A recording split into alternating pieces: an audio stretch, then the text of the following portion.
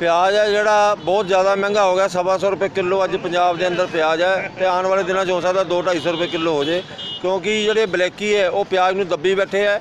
Centre ਸਰਕਾਰ ਦਾ ਵੀ ਫਰਜ਼ ਬਣਦਾ ਵੀ ਜਿਹੜੇ ਬਲੈਕੀ ਉਹਨਾਂ ਨੂੰ ਦੱਬੇ ਤੇ ਪੰਜਾਬ ਸਰਕਾਰ ਦਾ ਵੀ ਫਰਜ਼ ਬਣਦਾ ਹੈ ਕਿ ਅਸੀਂ ਪੰਜਾਬ 'ਚੋਂ ਪ੍ਰਦਰਸ਼ਨ ਕਰ ਰਹੇ ਹਾਂ ਕਿ ਜਿੰਨੇ ਵੀ ਬਲੈਕੀ ਹੈ, ਉਹਨਾਂ ਤੇ ਕਾਬੂ ਕਰੇ ਕਿ ਪੰਜਾਬ ਸਰਕਾਰ ਚਾਵੇ ਤਾਂ ਪਿਆਜ਼ 5 ਮਿੰਟਾਂ ਤੋਂ ਪਹਿਲਾਂ ਸੜਕਾਂ ਤੇ ਆ ਸਕਦਾ, ਸਸਤਾ ਹੋ ਕੇ 30 40 ਰੁਪਏ ਜੇ ਪੰਜਾਬ ਨੂੰ ਐ ਲੱਗਦਾ ਵੀ ਪਿਆਜ਼ ਘੱਟ ਆਇਆ ਪੰਜਾਬ ਸਰਕਾਰ ਦੀ ਇੱਕ ਜ਼ਿੰਮੇਵਾਰੀ ਬਣਦੀ ਹੈ ਕਿ ਗਰੀਬਾਂ ਦਾ ਧਿਆਨ ਰੱਖੇ ਤੇ ਇੱਕ ਡਿਪੂ ਖੋਲ੍ਹੇ ਜਿੰਦੇ ਵਿੱਚ 30 40 ਰੁਪਏ ਕਿਲੋ ਪਿਆਜ਼ ਲੋਕਾਂ ਨੂੰ ਵੰਡੇ।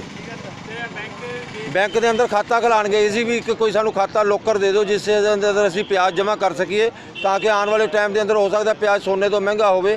ਇਸ ਕਰਕੇ ਉਹ ਬੈਂਕ ਮੈਨੇਜਰ ਸਾਹਿਬ ਨੇ ਕਿਹਾ ਵੀ ਕੋਈ ਸਾਡੇ ਕੋਲ ਇਹੋ ਜਿਹਾ ਖਾਤਾ ਨਹੀਂ ਜਿੰਦੇ ਅੰਦਰ ਅਸੀਂ ਤੁਹਾਡੇ ਪਿਆਜ਼ ਜਮ੍ਹਾਂ ਕਰ ਸਕੀਏ। ਇਹ ਸਟ੍ਰੇਨ ਗੰਨਾਂ ਨੂੰ ਲੈ ਕੇ ਇਸ ਕਰਕੇ ਨਾਲ ਤੁਰੇ, ਕਿਉਂਕਿ ਪਿਆਜ਼ ਇਸ ਵੇਲੇ ਸੋਨੇ ਤੋਂ ਜ਼ਿਆਦਾ ਮਹਿੰਗੇ ਹੈ। ਕਿਤੇ ਰਾਹ ਦੇ ਵਿੱਚ ਕੋਈ ਲੁੱਟ ਨਾ ਲਵੇ, ਇਸ ਕਰਕੇ ਅੱਜ ਬੰਦੂਕਾਂ ਨੂੰ ਵੀ ਨਾਲ ਲੈ ਕੇ ਬੰਦੂਕਾਂ ਦੀ ਸਾਏ ਦੇ ਅੰਦਰ ਬੈਂਕ ਚ ਲਿਆਇਆ ਗਿਆ।